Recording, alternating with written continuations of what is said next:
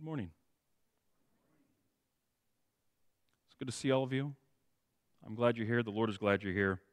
If you would, turn in your Bibles to Luke chapter 2. Luke 2. And I want us to read verses 1 through 21. Luke 2, verses 1 through 21. Hear now the word of the true and living God. In those days, a decree went out from Caesar Augustus that the world should be registered. This was the first registration when Quirinius was governor of Syria. And all went to be registered, each to his own town.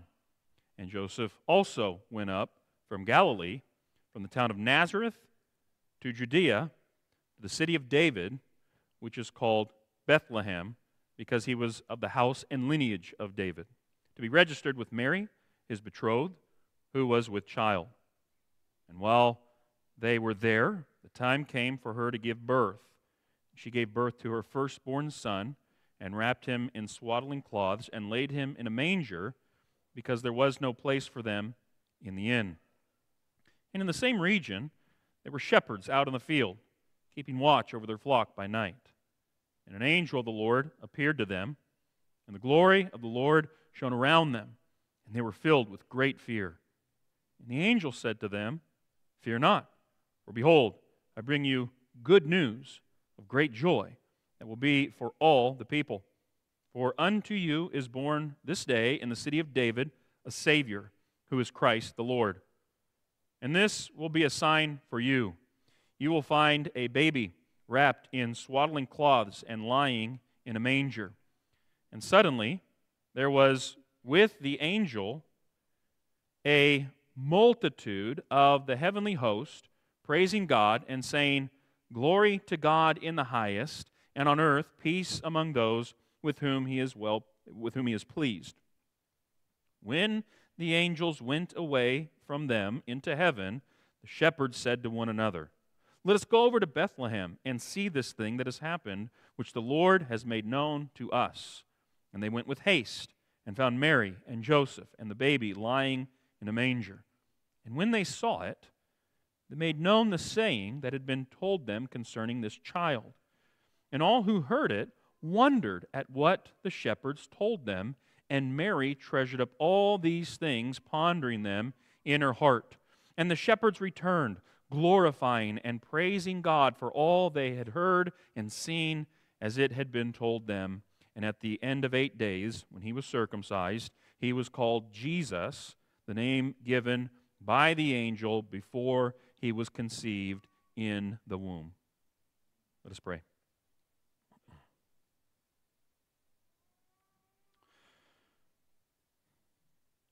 Indeed, Father, as we focus our attention on this holy night, this divine night when Christ was born,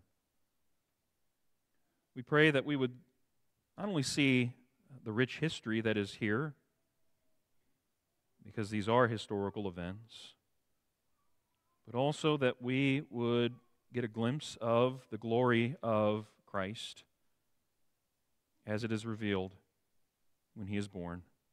We pray this through Christ our Lord. Amen. Today we conclude our series, Good News for Christmas. And again, the, the premise has been that there's a lot of bad news in the world. We, we want some good news and to, to focus our minds and our hearts on, on good news.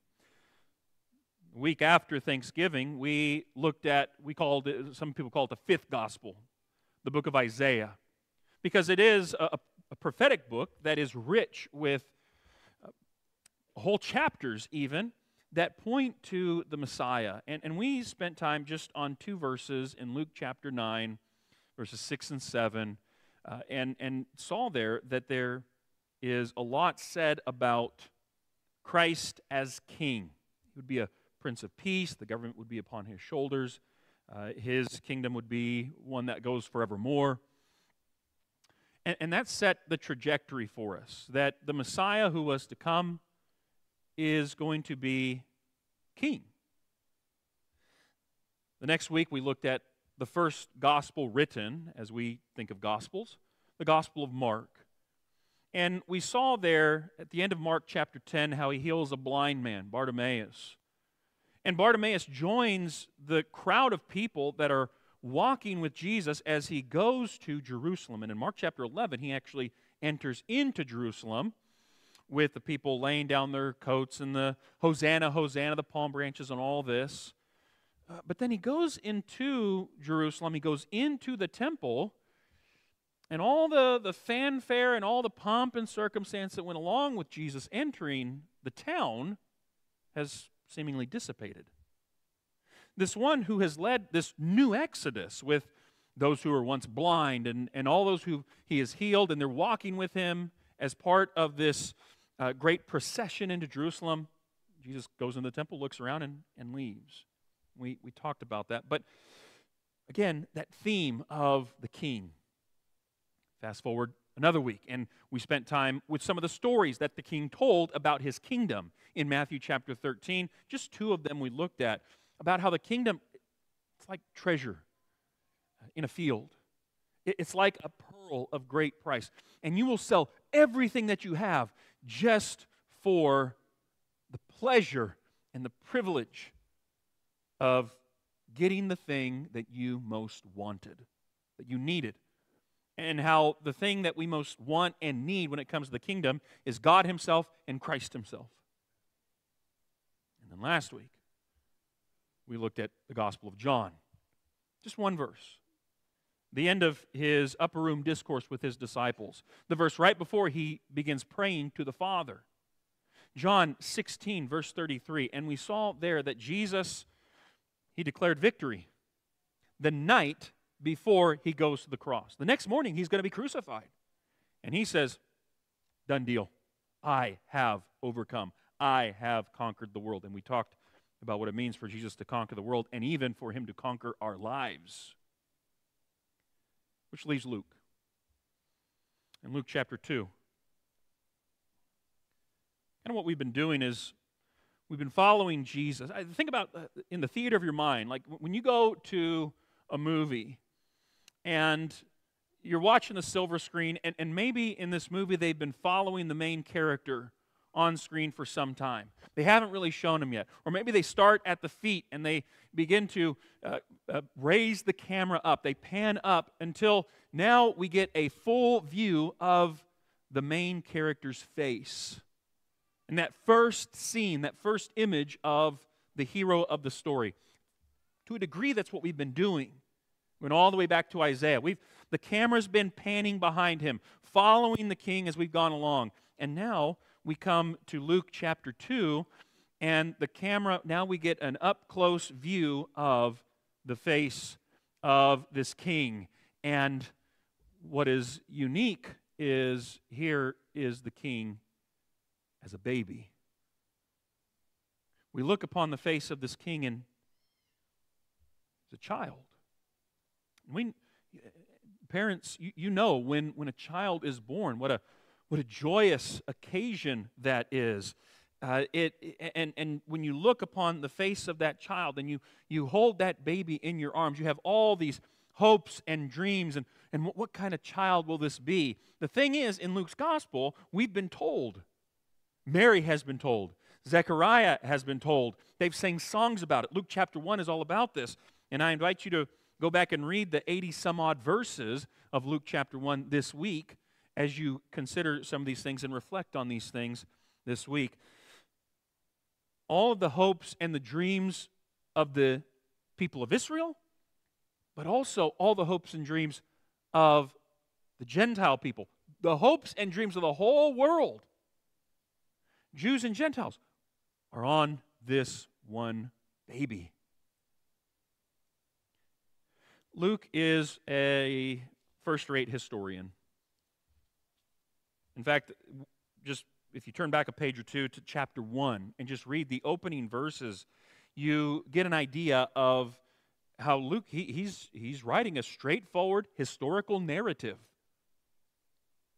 Inasmuch, verse 1, of chapter 1. Inasmuch as many have undertaken to compile a narrative of the things that have been accomplished among us, just as those who from the beginning were eyewitnesses and ministers of the word have delivered them to us, it seemed good to me also, having followed all things closely for some time past, to write an orderly account for you, most excellent Theophilus, that you may have certainty concerning the things you have been taught.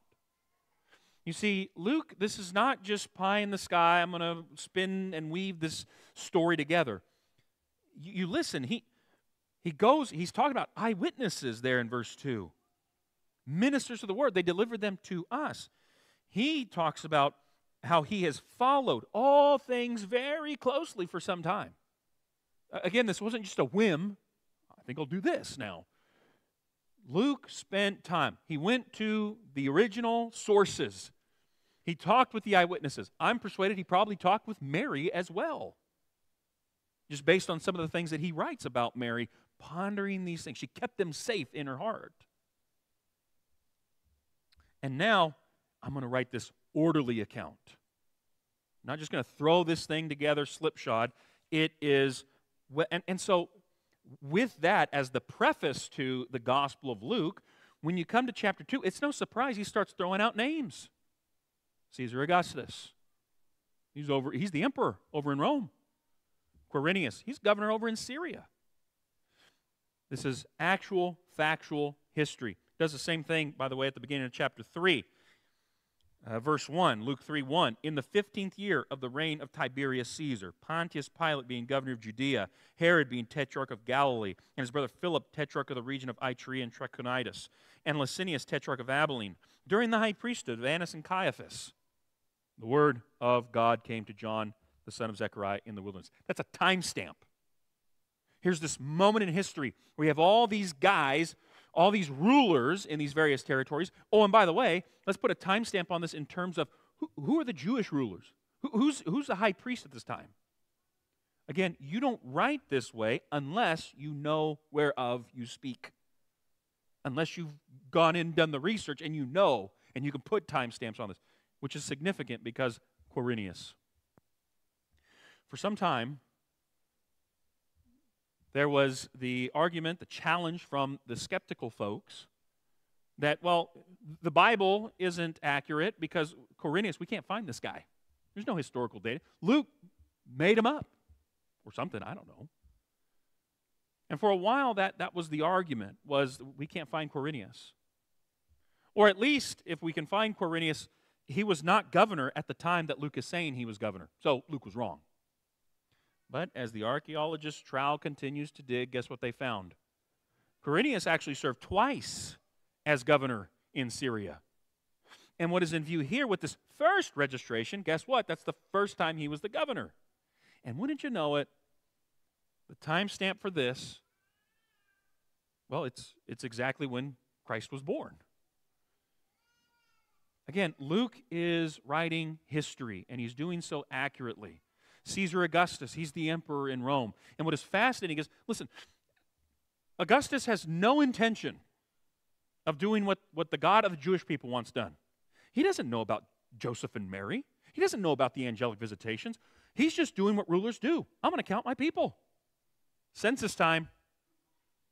And so he issues this decree from Rome but even in the intentions and desires of this earthly ruler, guess what God is doing?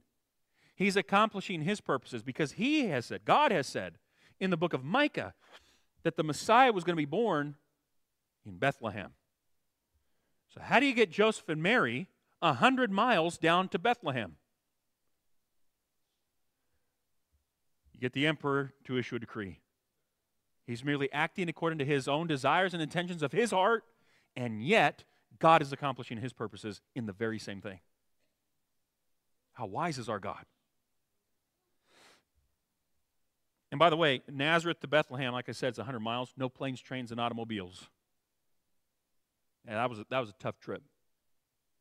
But they make it down to Bethlehem. That's where you had to go when it was time for census time. You had to go to your hometown. That's where they're from and they show up, and Mary, she gave birth to her firstborn son. There's emphasis, Luke has emphasized uh, earlier, Mary, I've, I've not known a man. How are these things supposed to happen? And now, uh, here is Luke uh, accentuating once again the virgin birth of Christ while also emphasizing here she's going to have other kids. This whole perpetual virginity thing that is promoted by our Catholic friends say, it has no scriptural basis. Go back and read. Well, we can take a peek at it because it's just a few pages back. Mark chapter 6 and verse 3. Mark 6 and verse 3 talks about how uh, the, the people were wondering, they're questioning, is not this the carpenter's son? Excuse me, the carpenter, the son of Mary and brother of James and Joses and Judas and Simon? And are not his sisters with us? G- Jesus had other brothers and sisters. He's the firstborn, he's the oldest, which makes sense given the circumstances. But again, all this is Luke very straightforward accounting of time came for her to give birth, and she gave birth. This is significant also because a little later on, after Luke and the first century, the, the whole writing of the New Testament is done, centuries after that, you do have guys who, well, they want some fame and claim too and they begin to write their own little gospel narratives. And there's what's called the Proto Evangelion of James. This is a, a, Gnostic writing written centuries after the birth of Christ, and it claims to give the birth narrative of Jesus. You know how it differs from Luke's account? When it's time for Mary to give birth, there's a brilliant, bright light, and then as the light fades, there's little baby Jesus.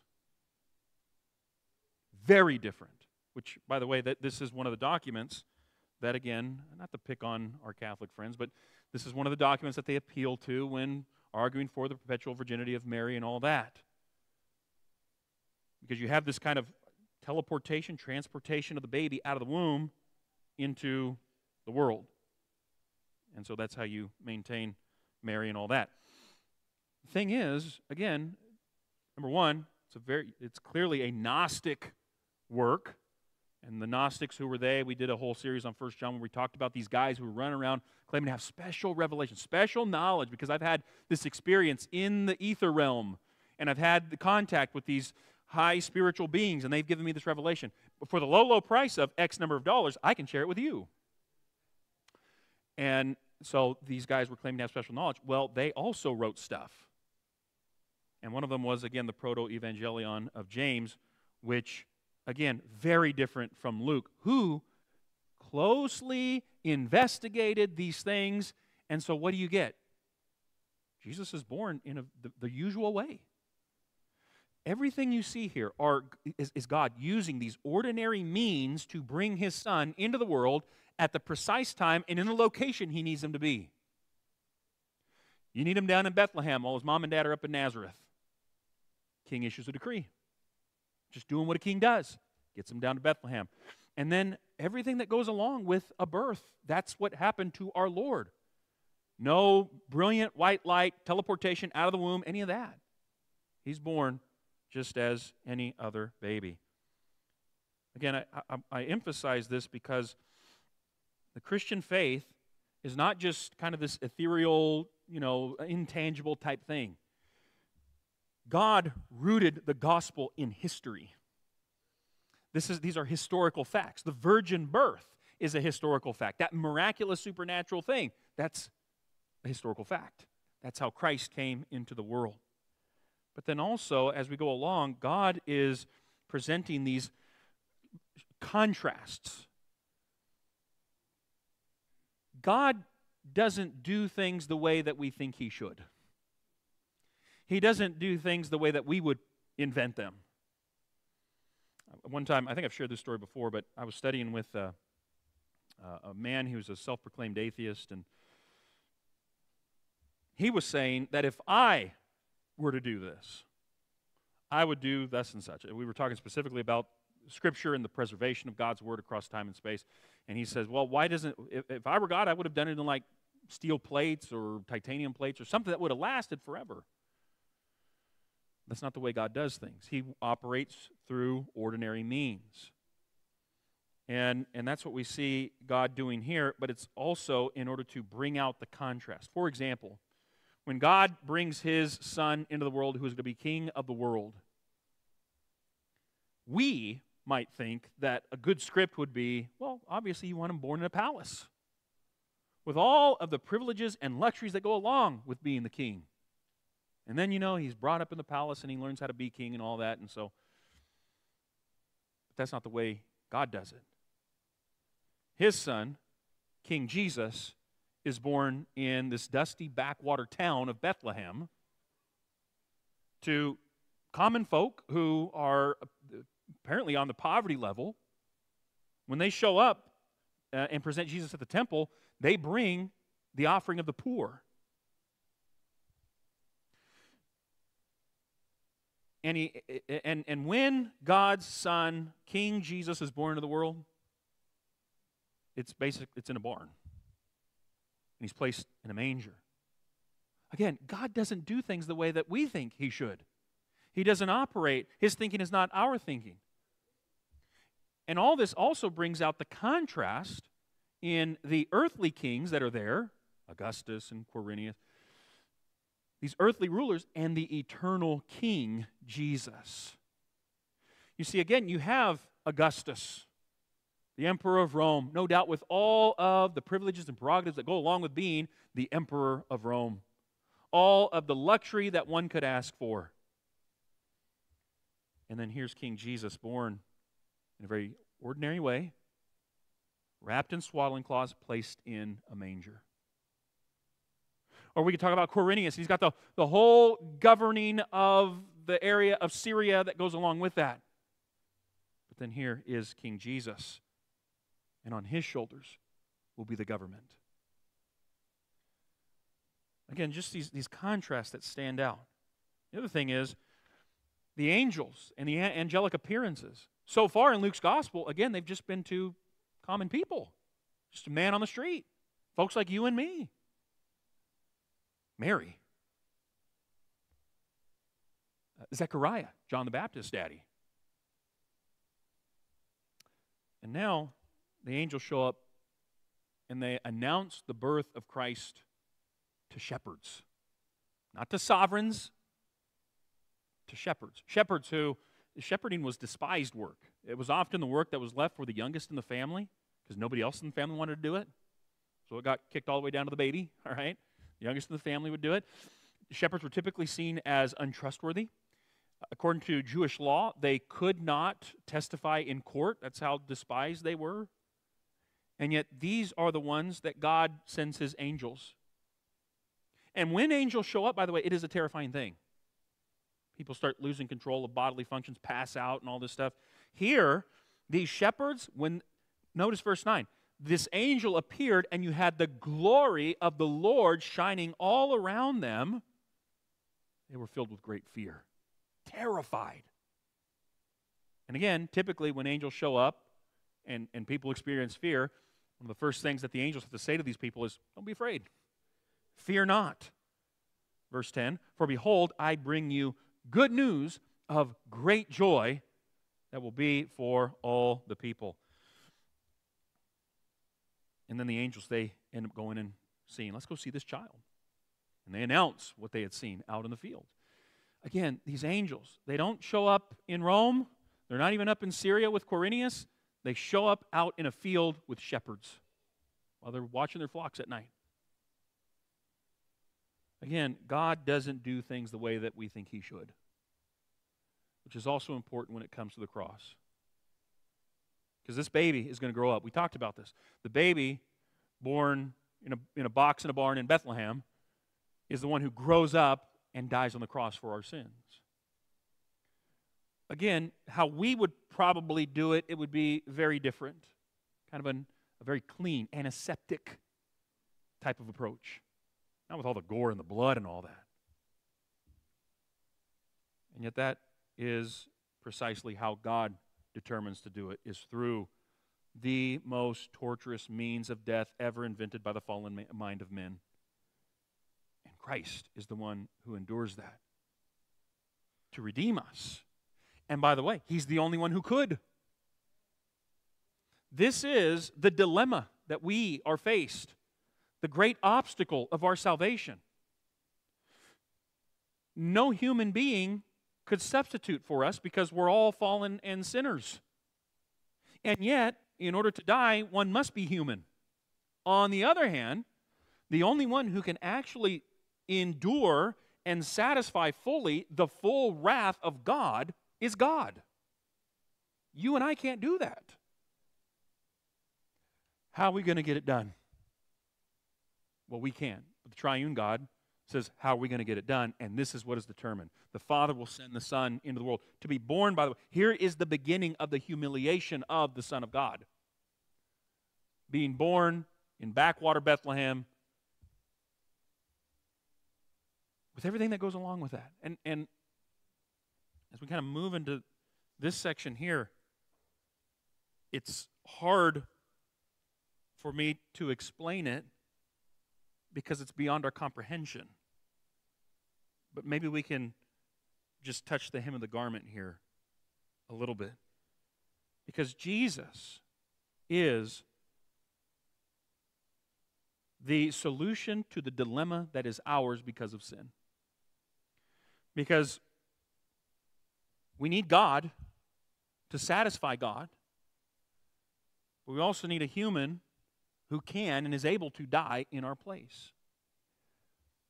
And that's where Jesus comes in because Jesus is at once both God and man. 100% fully deity, 100% fully human. He is the God man, and there's no confusion of that, no mixture of it. It's not that he's, you know, part God but mostly human or part human and mostly God. Fully God, fully human, 100% God, 100% man. And again, this is the arithmetic of heaven.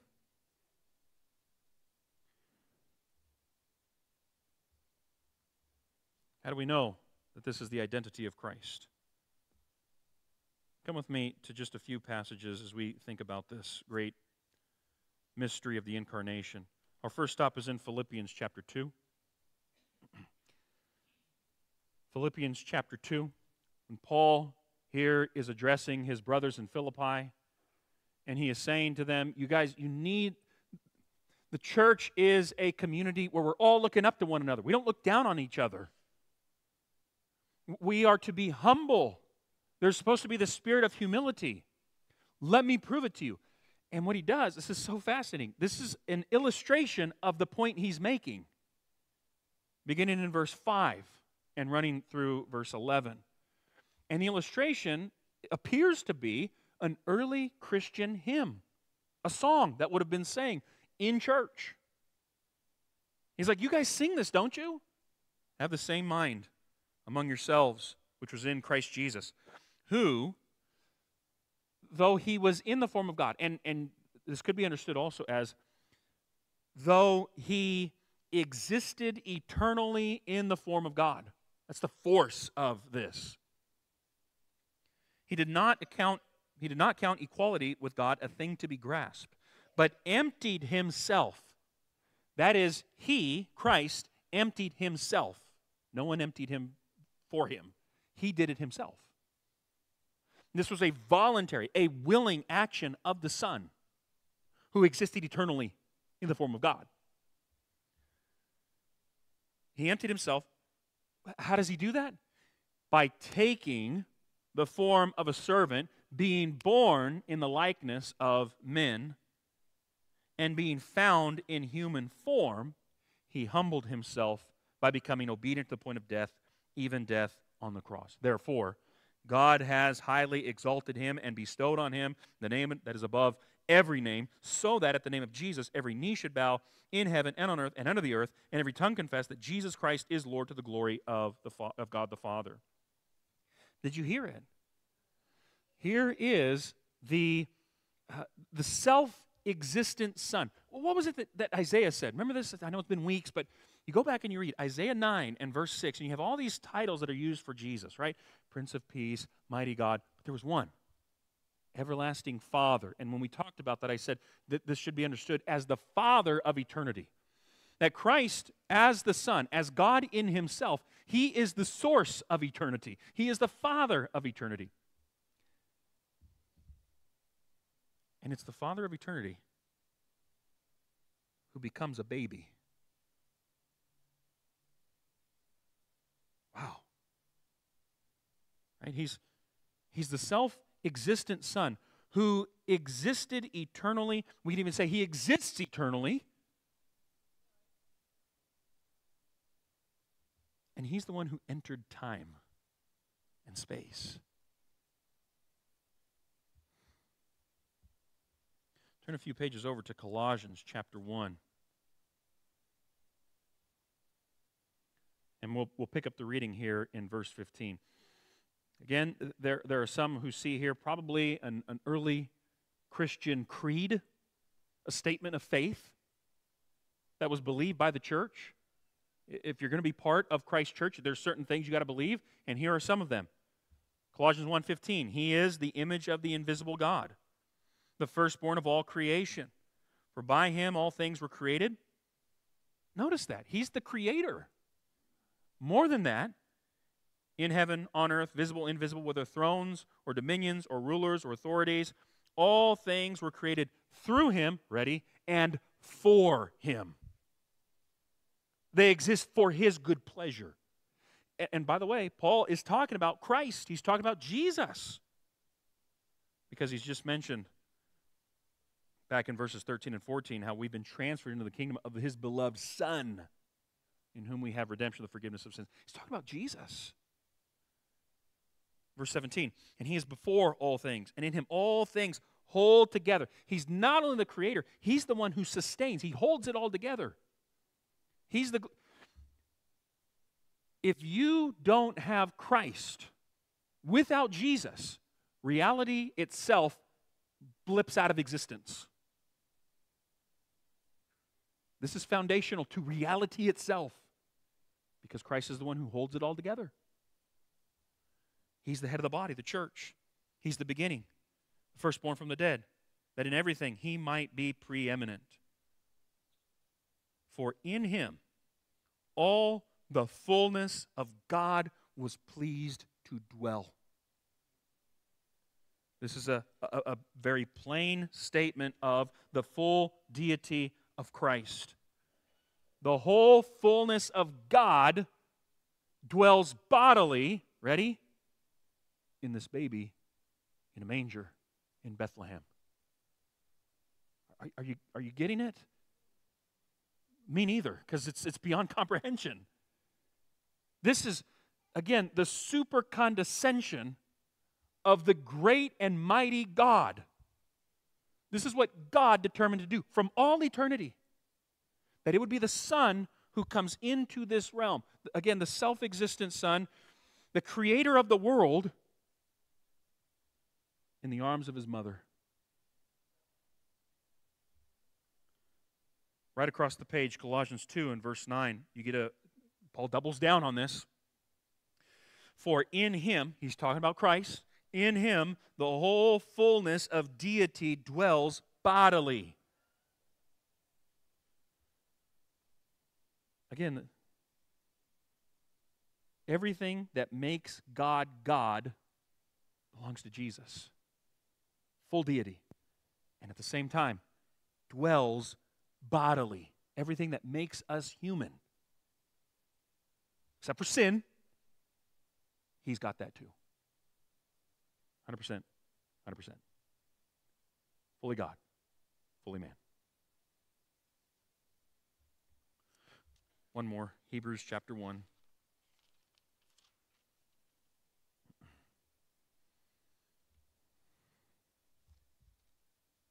Hebrews chapter 1, verse 1. Long ago, and many times and in many ways, God spoke to our fathers by the prophets. But in these last days, he has spoken to us by his son. Ready? Here we go. We're going to this is the writer of Hebrews talking about the son, Jesus, whom he appointed heir of all things, through whom he created the world. There it is again. The creator of the cosmos, now an infant.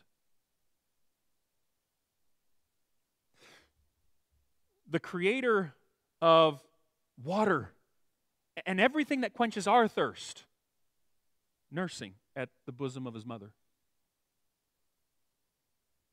He is, verse 3, he is the radiance of the glory of God and the exact imprint of his nature. And he upholds the universe by his word, the word of his power. There it is again. He's holding all things together, he's upholding all things, sustaining everything by his powerful word. The one who upholds the universe by his word is now the infant that cries out from the manger.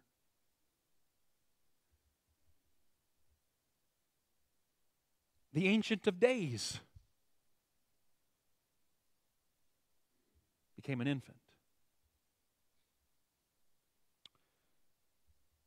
The mighty God,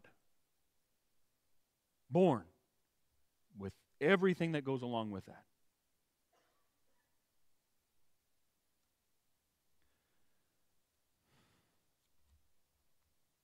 It doesn't get any deeper than that.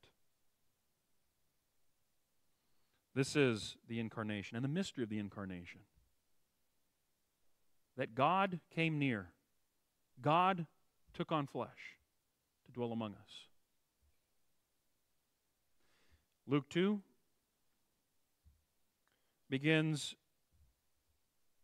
the uh, earthly life of Christ after his birth. He, of course, conceived in the womb, he's living there. But now he's been born, and now we will see as this child grows up and as he becomes a man and, and lives 33 years sinlessly, which we could never do. Doing that, by the way, his life, his active obedience, his righteousness, he does that so that it becomes our righteousness. That's the gospel as well. but then also to make purification for sin. That's the rest of Hebrews chapter 1, verse 3. When he goes to the cross and he sheds his blood, that blood is what forgives us of every last sin of ours. We see the man on the cross dying in our place for our sins. Buried, but of course he doesn't remain buried. Three days later, he's raised from the dead and after he makes purification for sin, he's ascended back to the Father's right hand where he lives and rules forevermore. And the Father, on, the, on behalf of the Son, is steadily conquering and driving back all of the enemies of the Son. He is making them his footstool. And once the last enemy is conquered, death, then comes the end. When the Son, who was born in Bethlehem, hands the kingdom back to the Father. God is all in all. The King is born. Here we are. We've, we've panned the camera up, and there it is. There's his face. And he's a baby here. We fast forward. We see his face on the cross. Fast forward a little more. There's his face in glory. The exalted king who reigns forever and ever. The birth of a child, certainly a joyous occasion for any parent. But here is the good news of great joy for all the people. Let's commit this to prayer.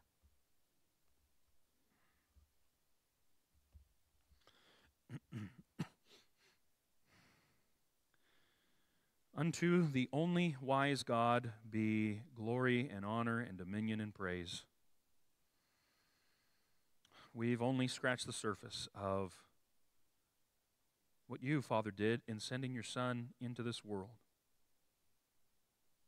What Jesus did in taking on flesh, human nature. And yet, by faith.